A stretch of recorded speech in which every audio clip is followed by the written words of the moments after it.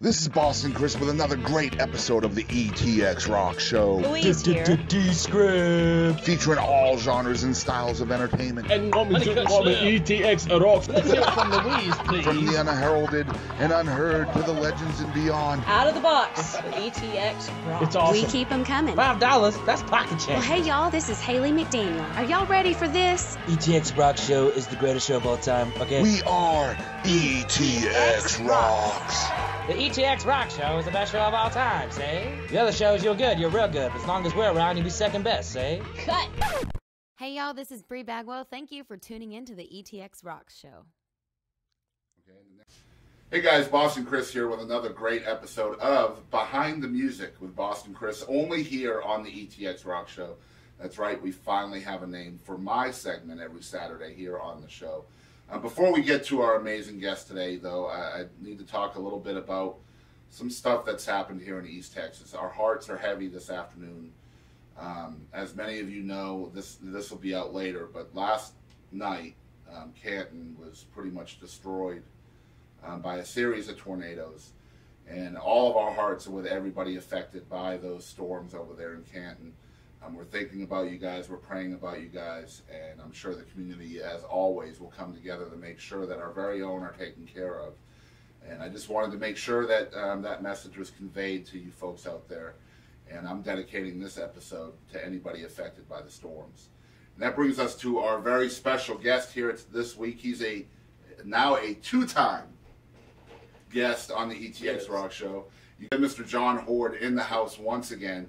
Thank you, man, for coming back on the ETX Rock Show. Man, I appreciate it. I thank y'all so much for getting us back, uh, getting me back up here.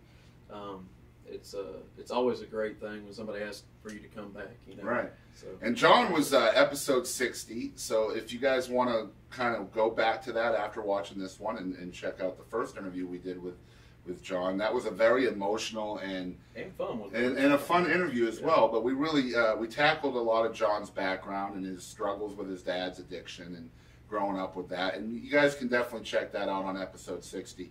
But today we want to talk about all of the amazing new stuff that John has going on. And uh, before we get started, I want to read a little bit about John from his from his webpage. John Hord has been taking the Texas country music scene by a storm. Growing up, he found influences influences in almost everything he listened to, from George Strait and Garth Brooks to his very own father, Houston singer Jeff Hord. He spent his younger years singing around campfires and in a church band. Decided to pursue music professionally in early 2016. So he's only been around about a year. He's a youngin in this business.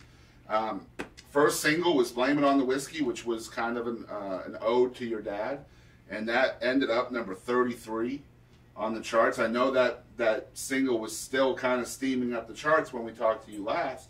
It got all the way to 33, man. So first, I want to say congrats on that, Appreciate man. Awesome job. for for it to go that high on a debut single. I mean, it's just it's it's amazing, astonishing to me. Yeah, and I agree 100% with that. I mean, whenever you're new to something, you know, something, whatever you're trying to sell has to be amazing. And uh, I mean, that song you played for us on the first episode, episode 60, uh, it's just an incredible song. And of course, now you're promoting the, the follow up single to that, which is called More Than I'm Used to.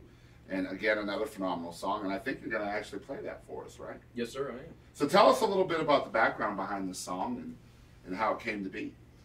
Well, um, so basically, uh, well, it's kind of cliche. The song is, you know, a lot of the bar scene, the country music scene. You know, you go out and uh, everybody's trying to pick them up. You know, pick somebody up Mhm. to go home with. You know, so uh, you kind of get used to that lifestyle, and, and uh, I, I didn't personally live that lifestyle. I actually uh, Sure. No, no, no. I, you know, I found my wife at an early age, and uh, we've been together for quite a long time since 2005. wow, So, yeah, um, and I've been married since 2009. So, uh, I didn't ever get to experience it, but all my buddies did. They would always get in trouble out there at the bars, you know. And so, uh, I was like, man, one one day you guys are gonna have to give all that up and actually find somebody that you can, you know, grow up together with, and and uh, you know, and uh, start a family, and Right. and so I kind of wrote that with that mindset, like, man, they, how is that going to happen? How is that going to translate, you know, in their life? And and uh, they're just going to have to either one day just decide that that's when I'll get lucky and and um, and just find somebody by chance. Right. But uh, this is song is kind of about a a guy like I described, and then finding a woman that man they're just absolutely just fall in love with is so much more than what they were used to Right. doing on a routine basis. And I mean, it's a it's a very relevant song to a lot of people for sure. And I think uh, you know, in country music especially, it's really important to be relevant. Um, and I mean, a lot of people can feel a song like that. You know, it's kind of like, hey, grow up a little bit. Yeah. You know what I mean? So, guys, this is uh, more than I'm used to by John Hord, and this is already a top 100 single in Texas. I think it's already top 80, isn't it? Uh, yes, sir. It's Somewhere in the '60s now, Yeah. I think. I mean, it's moving up very, very rapidly. And uh, if you guys like this song, make sure you're requesting it to all of your local country radio stations, no matter where you live, even if you're in Thailand. All right, so this one's uh, more than I'm used to. Request it as much as you can out there. It's uh, it's moving up the charts. It's in the 60s right now, and hopefully by the time that you watch this, will be number one. Here it goes.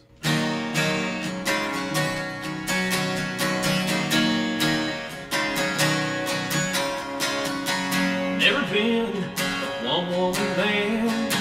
Never been much on holding their hands. Say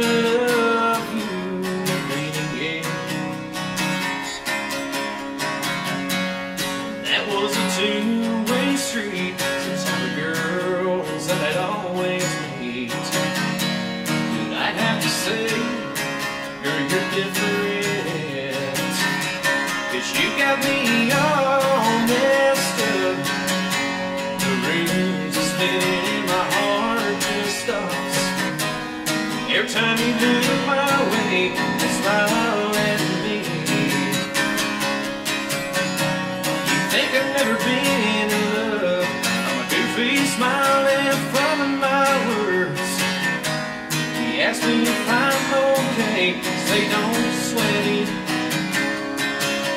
I'm gonna love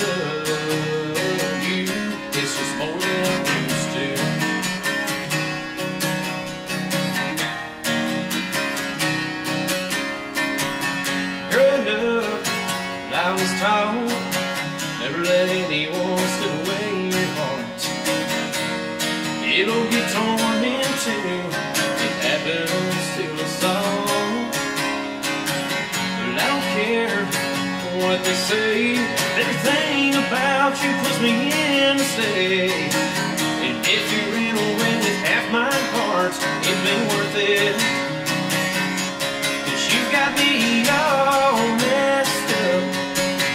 The rooms are spinning and my heart just stops. Every time you look my way, you smile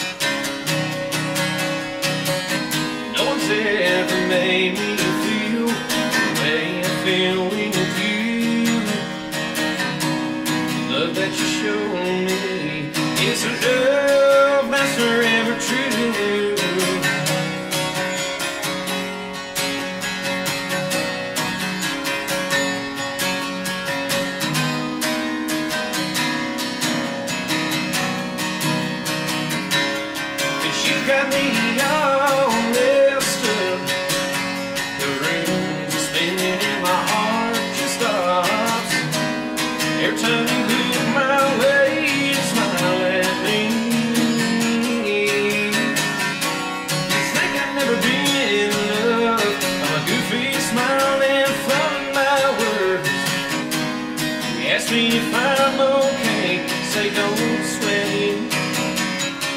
Girl, I'm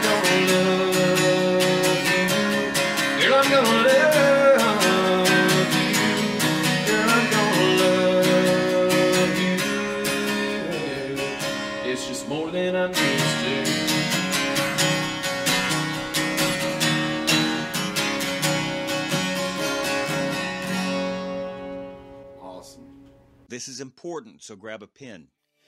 We are mobile audio and video productions serving East Texas and surrounding areas. We're running a special for electronic press kits, also known as promos or EPKs.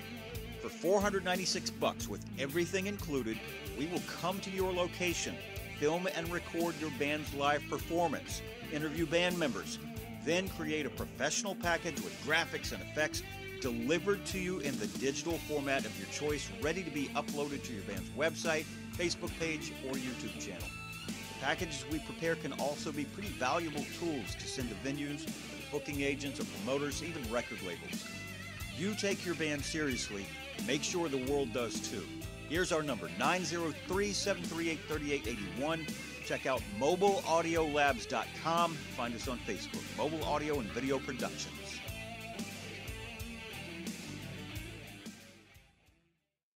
Right, we are back with another awesome episode of the ETX Rock Show, and once again, we are here with Mr. John Hord, um, brand new country singer here on the Texas Red Dirt and country music scene, um, and you know, slamming up the charts with his debut single last year and his follow-up this year, already in the top 60s. Um, and again, I mean, you guys who have uh, tuned in before, anytime you're really listed on the charts, um, that's a huge accomplishment because at any given time, there's hundreds and hundreds of artists with singles out in Texas. So um, I would love to hear from your perspective as a, a, fairly new artist on the scene. What's it like every Friday when you see this chart come out and you see your name, John Hord? It's on there. It's with guys like Aaron and Cody and um, Stoney and all these huge names. It's absolutely mind blowing knowing how much music is out there that doesn't get heard. Right. And your name's on that list. And uh, you know, you you always want your song to do well, you know. But I mean, there's just so much competition out there, you know. Um, but sometimes you're scared to look at the chart. oh yeah, I know. and sometimes you're excited about it, you know. It's, Right. it's like opening a gift from grandma. You don't know if you're gonna get clothes or a toy when you're a kid. Right, You know? So. I can imagine. I mean, because uh, you know, I've got a close friend of ours and host on the show, Haley McDaniel. You know, she, she's got a, a single that's charted really well. Um, but anytime it would, you know, if it, if it would drop two or three spots, she would get really, you know, frustrated with that. So I can clearly see what you're saying about that Friday chart coming out. Because I imagine if you drop even one spot, you feel like your momentum has been cut short. Right, and, and sometimes that's not you know necessarily true. Sometimes Yeah. it's just somebody did really well and got a lot of ads, and it, it moved you down, but you're still you're still performing. Well, yeah, and if you're still gaining spins and ads and all of that, I think that's what matters anyway. absolutely. Because as long as you're gaining and there's plus signs next to those numbers, then I think you're pretty golden. And then you know, as as an, for an artist, um, kind of closing that perspective is that uh, you can't just look at the charts and how you're performing on the charts and use that as a measurement for your success. Right. Because I mean, uh, a lot of places that you go out there and get your music heard, they don't report spins. Right. You know, Exactly. and uh, I mean, just like you guys, I mean, you guys are awesome for artists to get distribute the music out Right. and let everybody know, you know, about them and what's going on, and and uh, that to me is just equally as important as where your position is on the chart. Um, I think you just got to get your music out there and get it heard. I think it's also probably pretty important to you guys, you know, when you're doing a live show and the feedback you're getting from fans, you know, right there in your face at a live performance. That's all that matters is the fans, and you know, just um, getting their feedback, their response. You know, that they're uh, they're the only ones that keep this business going. Right. you know. But you know, and again, as we mentioned in the first time we talked to you, you know, um, music is kind of in your in your blood anyway. It's a family tradition. Uh, thank Yeah. you, Hank. Uh, but uh, I mean, really, with you, it is. Um, so it's not like you came out of nowhere either. You know, you've had the, that background kind of instilled in you um, to be musically inclined and follow your dreams. And I, you know, like we mentioned on episode sixty, you know, you also know the drawbacks and what to avoid.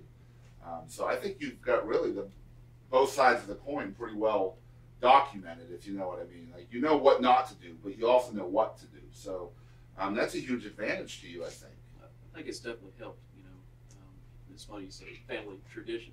That was actually the very first song I ever learned to sing as a kid. Wow. I, I'd, I'd say uh, instead of family tradition, I would sing family addiction.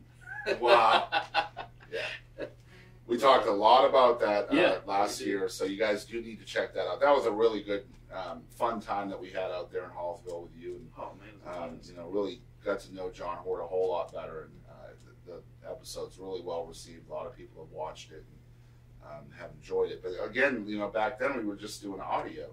So now that we're we've got the movie set and all that, I was like, man, who do we want back? And, and you were the first one that came to mind. So John Hord is back, and, and we're excited. And I'm going to tell you guys the main reason why we wanted him back, and that's right here in my hand. This is the new, brand new EP just released in March. It's called "The Home You Made for Me," and it is the first recorded stuff that John Hord has ever put out. So I know when, whenever he sees that, you see pride in his eyes, um, because every song on here except for one was written by him, and the, and the last one was written by his dad. Um, and there's six songs on here. Um, so what I want to know from you, we really didn't talk about this too much last year, is your songwriting process. Because you are a very, very good songwriter. Obviously, you know your your songs are very well received on Texas radio.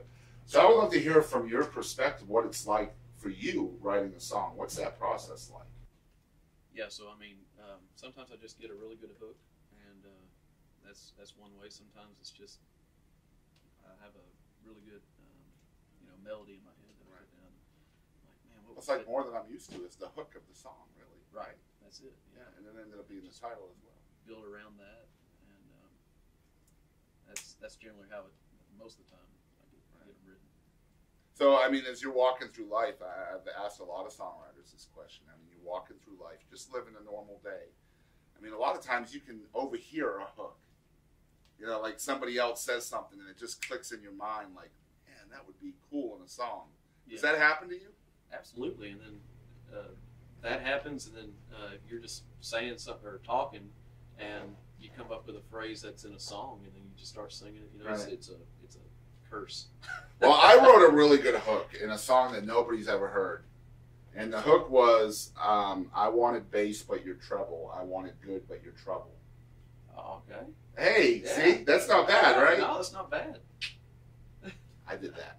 But no, um, that uh, my nephew is in a band, was in a band, and, and they were writing a song called um, what the heck was the name of the song again? Here I go again. It was the song was called "Here I Go Again," and it was basically about addiction Okay. and, and always falling back into that.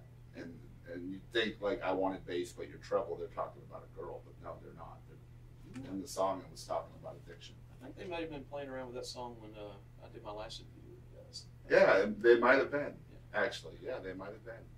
But yeah, I mean, I had a good songwriter friend of mine say, "Hey, man, who wrote that bass and treble and good and trouble line?" "That was me, dude." And they said, "That's the money line in that song." oh yeah, I guess that's what they call it now, the money line. That's Yeah. that's where you want to go. Um, it's exciting to. yeah, and it's like, dude, hey, I did that, you know. And, and it was that kind of situation. It just clicked in my mind, um, and probably, you know, it probably all that bass, all about the bass or something, probably had something to do with it too. Probably stole a little bit from Meghan Trainor, but so, but um, you know, and back when we talked the first time too, I, I ha- hadn't really talked to Dillon Steen a whole lot yet. I'd actually set that interview up with you directly, and in the meantime, you know, I found out that Dillon is also your radio promoter. yeah. Um, so I'd love to hear about you know your relationship with Dillon and and talk good about him for a little while. Oh man, uh, there's so many good things to say about Dillon. There, Yeah. there- I haven't found one bad thing. I've been trying to find something, but I just can't. I have to. It's impossible. Like, Yeah. Um, I stay up late at night just trying to see what he's into on Facebook. It's always work. he's he's uh, when it comes to social media and the charts and all that stuff. Well, he's on top of it. Hey, it comes out and in five seconds he's already got it typed up and posted and everything. Yeah, he's the one that tells me when the chart's out. I'm like, oh, Dillon's posting. I can go check it. But if uh, I've never worked with another promoter before, but just from you know, and I have nothing bad to say about any of them because I don't Right, you don't know. I don't know, but I know that he is more involved with. Uh, sounds like he's more involved in you know being there for the artist and actually do care. Like it's we're his children type thing. you Right, know? yeah. And he absolutely feels that way He does, man. He, he takes it personally, and, and you know he uh, he really does. He knows how hard everybody works to put these songs out, and, he wants to make sure that he gets the job done. He, And isn't it cool when you're in a cutthroat business like like the music business and you meet somebody that's um, a sweetheart? I mean, you know, like they're genuine. they're yeah genuine and, and sincere and all that. I mean, you don't find that too often in this business. A lot of times it's like, you know, they'll do anything to further further the cause or whatever it may be. And I know Dillon's all about that too, but the way he goes about it is just so different than any anybody else I've really experienced in, the business. I, I just think he's really outside the curve. You know what I mean? I'd, I'd recommend him over and over again. He's he's a really great guy. Really, like I said, he just he loves his job and what he does, and does a great job doing it. Yeah, and what I, last thing I'll say about Dillon, and I know he's watching, um, is I mean he legitimately believes in every project that he's working on. Every single song he promotes, he believes in it 100%. And I think that's incredible considering the amount of artists that he promotes.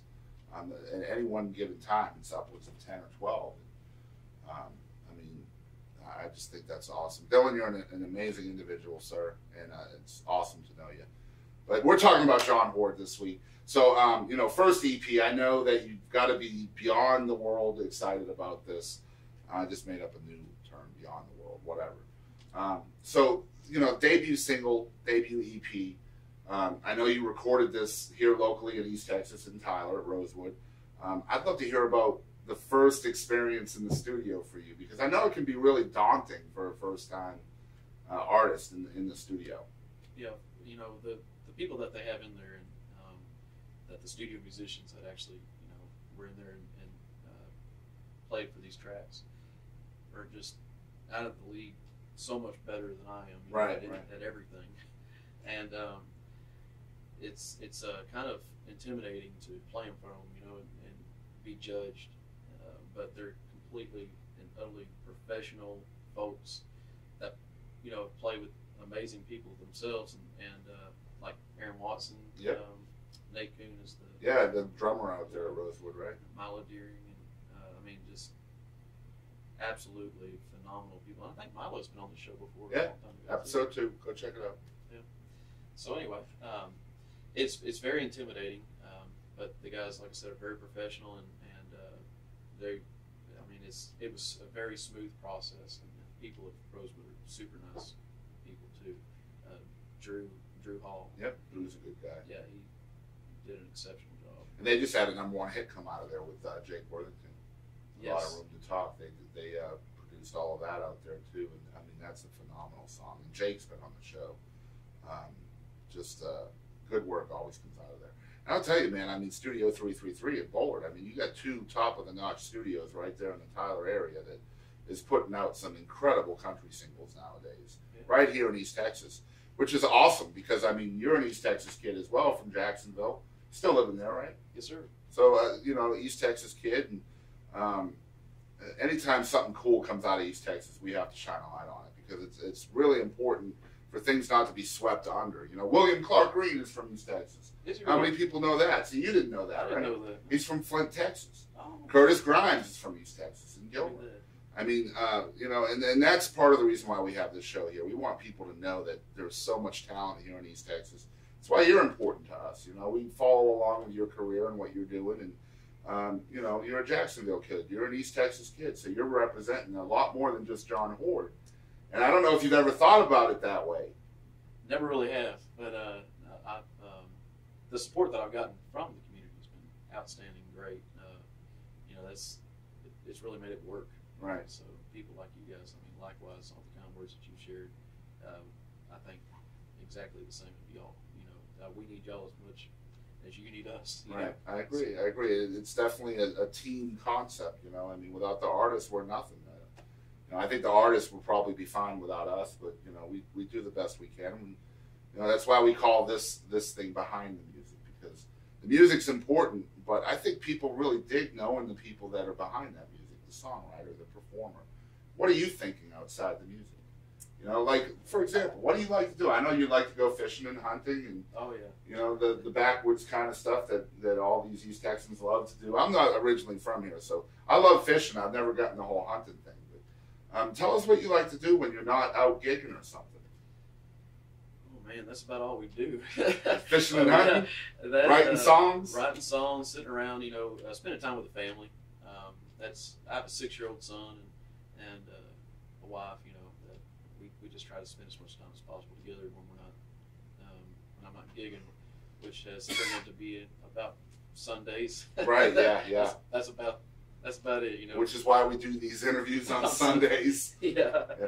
or during the week or something like that. Right. Yeah. Um, we uh, a lot of campfires used to be. Now it's getting hot outside again. Right. But uh, today's kind of been weird. It's- It's been very weird. yeah. Well, I mean, one thing that's uh, I- I'm not sure a whole lot of East Texan fans really understand is, you know, in the Texas country genre. Look, we live in the largest state in the country, right? And we have the infrastructure here for an amazing country music and red dirt scene. But a lot of times, in order for you for you to succeed within that scene, you have to travel the entire state. You can't just, you know, you're an East Texas kid. You can't just do radio in Longview and Tyler. I mean, you have to go to Amarillo. You have to go to San Antonio. And I think you really understood that early on. Um, but having a family, that's going to make things pretty difficult for you. And I know you gig a lot out in West Texas too, um, Lubbock and all those areas out there. So, um, how do you maintain a balance there? It's it's a tough thing. It's a something that you have to go in, uh, you know, starting out, understanding and, your whole family understanding as well. Like, look, this is how it's, you know, potentially going to be for a while. You know, Right. Going to be out there playing the road a lot. And, um, you just take any time that you can. That's just your free time and you invest it in your.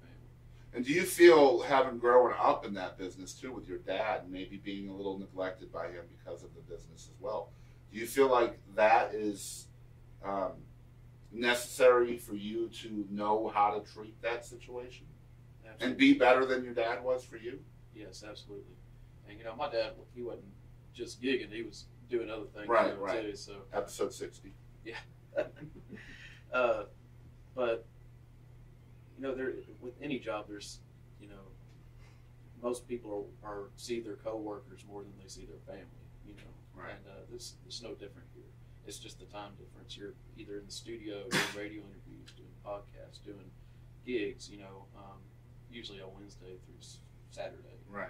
and then you usually have Monday, Tuesday, most Wednesdays off uh, to spend with your family, or Sunday you go out with your family, you know, and, and uh, you get to go hunt and fish and all that good stuff. Um, it's uh, it's sometimes that line it, it changes. Yeah, know, of course. and uh, you might have two weeks to go spend with your family, or you might not see your family for two weeks. Right. So it, everybody just needs to understand up front before they get into this business. That's that's probably going to happen to you. Yeah, and it's a necessary evil too. I mean, if you if you want to build this into something where this is your career, this is your bread and butter, then you need to be ready to work on it, and um, your family needs to be along for that ride. Um, otherwise, you know, like I said, it's a necessary evil. You know, if you want to succeed in the music business or really any job uh, that has traveling involved, you know, everybody has to be on board with it. And if one person isn't, that's where everything falls apart. I think. So let's talk about the record. Okay. This is uh, the home you made for me by John Hord debut EP. Where can folks find this? Um, both physical copies. I know you have a .com, johnhord.com, um, but um, send people where you would want them to buy this. johnhord.com is where you can get the physical copy. Um, that's the only place that we're selling them. And then um, iTunes, Amazon, Google, whatever, you know, all the digital outlets, uh, you can download it there as well. Awesome. And um, there's there's six songs on here. Are you? Uh, do you have any plans on a full album? I am. I, the next, I may do a single then a full album next, but I haven't gotten that far yet. Right. So I, I need to just kind of evaluate it. And, You got plans for pulling another single off of this, possibly? um, uh, maybe one more. Well, I'm thinking uh, my favorite one is Cowboy Angel. I really like that song. I do too, and, and I, I, I really would like to put that out on radio. I just don't know how we do. Uh, they say that ballads really don't belong on the radio as you know as frequent. Um, Aaron Watson would disagree with you. I, I would agree. I would disagree with that too. That statement, but um, it's always scary to put a ballot out there. A lot of promoters don't want Right. to promote that. I'm not saying Dillon wouldn't. I'm just Right. saying that that's. And when I Well, hey, uh, Jake Worthington, like I just said, um, that, Oh, yeah, a lot of room to talk is a ballad. I mean, Right. went number one. Hello. Right. Right. And I think, you know, you can listen to. I actually listened to the podcast with Dillon.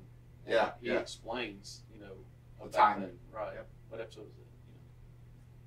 You One thirty, one thirty. season two, episode thirty. So uh, Somehow I remember all of this. so I really listen to that, you know, and, and it's it's always scary to put out a single, but definitely don't want to invest in. in, in So even though you're you're one of his artists, you listen to it and learn something. Yeah. That is awesome. That just makes me feel so good. That was the whole reason why we had you on the show, Dillon, is because we wanted to educate people on that side of the business. And I thought you had so much insight um, to give to artists. And look, one of your own artists learned something from you in that Thank you, episode.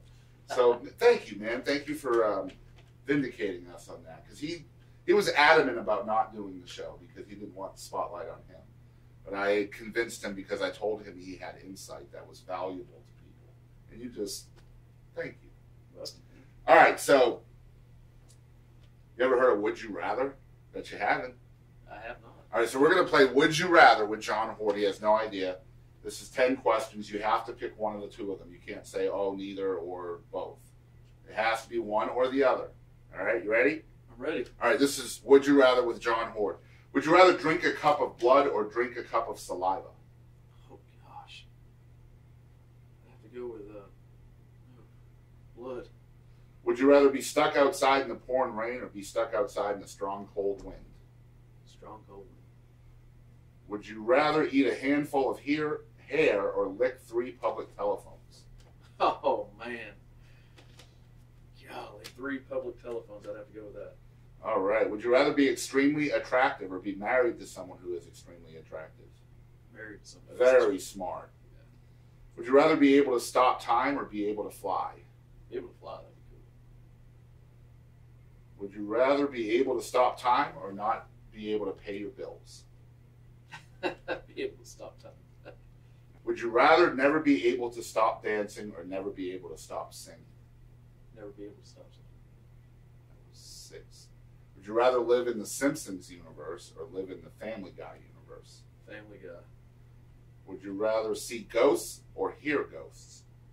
See ghosts. Need to see them. I don't want to hear them. All right. Would you rather take a cold shower every day or take only hot showers, but only once a month? Hot showers once a month. All right. Last one. Would you rather have the rest of your life broadcast on live television or have no one remember you from day to day? No one remember me from day to day. awesome. That was Would You Rather with John Hord. Um, just so you guys know out there, I've had questions about this message to me and emailed. Um, we do not inform them of, of this at all. This is completely off the cuff. Um, we know we're going to do it. They don't know we're going to do it. So they, they're not prepared. And it's always more fun that way. See, look at his Yeah, face. it was interesting. so that was Would You Rather with John Hord. John, let folks out there know where they can find your social media and how they can book you and find your music and stuff like that. Yeah, you can uh, do it on Facebook. Uh, it's uh, at John Hord Band. Uh, same thing for Instagram and Twitter. We're just kind of starting to roll out. So it's all John Hord Band, J O H N H O R D. And you all, like I said, you also have the um, the the dot com, which is johnhord.com without the band word in there, johnhord.com. And I'm pretty sure you can get to all the social medias in there as well. And you have merch. You see the awesome hats. Uh, I think you have shirts too. Do you have shirts yet? Uh, we oh, we haven't got them in, but we will by this. I love this guy because he chose hats over shirts, and most people choose shirts over hats. And I'm a hat guy, so Me too. yeah, uh, very exciting. I love the hat. They're they're solid looking. Um. I would say lit. That's my new word. But um, you can get all of that merch and music and stuff like that if you want physical copies um, of this amazing EP right there on johnhord.com. Again, like we said earlier in the show, please make sure that you're requesting the brand new John Hord single, More Than I'm Used to, at all your local radio stations. And before we get out of here, John has promised us a second song, and I'm hoping he'll do Cowboy Angel. Man, I think I can do that. Awesome. So before I uh, get into this, can I explain a little bit about this? Absolutely. All right. So, first episode, we talked a lot about um, my uh, biological father, uh, Jeff Hord. This one, I want to talk a little bit about my stepdad. This song's actually about my stepdad. He um, he passed away a couple of years uh, to brain cancer, and um, it's a it was a very confusing time. He was actually you know there for me more than more so than my biological father was. Um, taught me a lot of things, and uh, it, it hurts, and it still hurts to this day. And I, I figured I'd write a song about it, uh, about what I was feeling at the time. So this one's called Cowboy Angel. He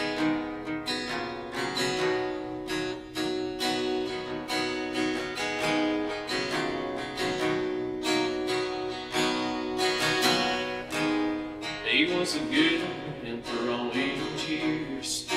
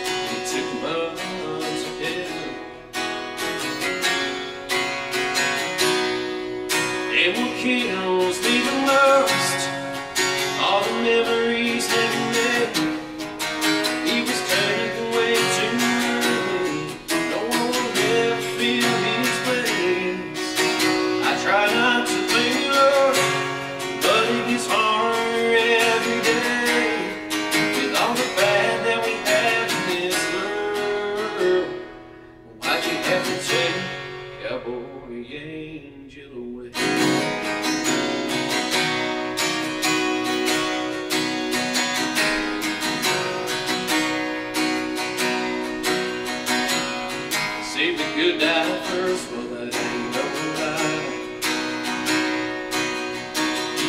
I know you have your reasons, I just don't understand why. The world needs more than I can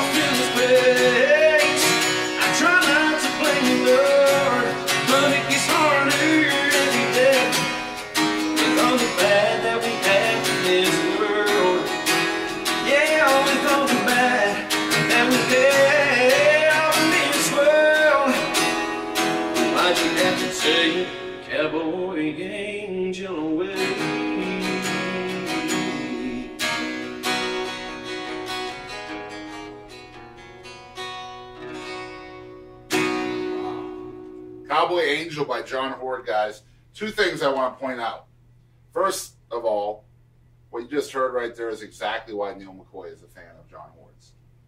Second thing, that was the 100th song performed on the ETX Rock Show. So, answer to a trivia question. That was number 100. We've been very blessed to be able to um, bring you guys the best in live music acoustically here in East Texas and the entire state of Texas, really. And Cowboy Angel by John Hord is now the 100th song that we've ever featured on, Awesome. on this show.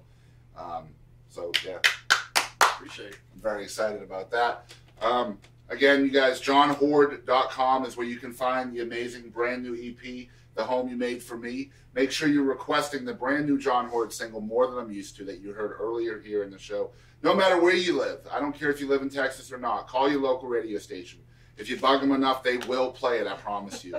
and every single time you call, they spin that record. It helps him get a little bit higher up on the charts. And like you said earlier, let's get it to number one. He's got a top 30, uh, 35, 33. Let's get it a little bit higher. John, I want to thank you once again for coming on the show again, man. It's been a pleasure knowing you and, and having you on. Absolutely. Thank you so much for having me come out. No problem. All right, guys, this is Boston Chris once again with Behind the Music, only on the ETX Rock Show. Again, you guys, if you're watching for the first time, you can follow along with us on Facebook, Instagram, and Twitter at ETX Rocks. We're located on YouTube. We're on iTunes, Google Play, and lots of other platforms, always free of charge to listen. You can download us, you can view us, always free. Please hit the subscribe and follow buttons, though. That's completely free as well, and that'll help us out. Um, you guys, as we always say on this show, I want to thank every one of you for supporting local music. And always remember ETX rocks. Perfect.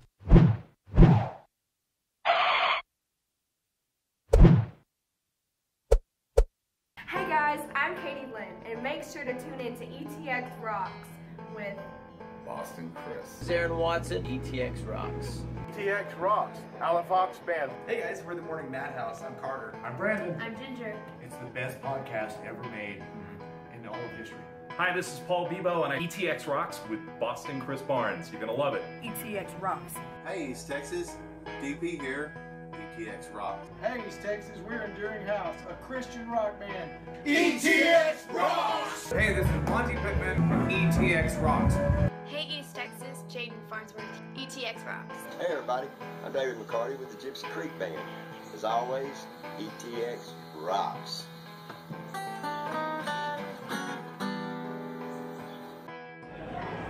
Hey guys, this is Chris Colston. Thanks for tuning in to the ETX Rock Show. To the ETX Rock Show. The ETX Rock Show. Ho! Hey folks, I'm WWE Hall of Famer Hacksaw Jim Duggan, and I just want to make sure you support local music. Hi, East Texas. This is Chris Wayne. And Crystal Clark with KYKX 1057. ETX rocks. Hey, hey East Texas. We're, we're Lady Chaz and the Tramps. And just remember, ETX rocks. Hey, this is Todd Freeman of ETX Rocks with Boston Chris. Hey, East Texas, I'm Waylon Hicks. And remember, ETX rocks. Hey, what's going on, guys? This is the one and only SP and Mexicano con Estilo. Make sure to support your local music and ETX rocks. Hello. Hello. We're one way home. Hey, East Texas, this is Teaser. Please continue to support local music. And always remember, ETX rocks! Howdy, folks. This is Aaron Watson.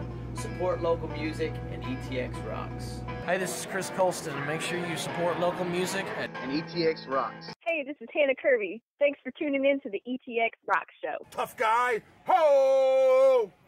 Covering music related content of all genres. If it filters through Eastern Texas, it's fair game. Y'all bring it. From Texarkana down to the coast and Dallas down to Houston and everything in between, we are ETX Rocks!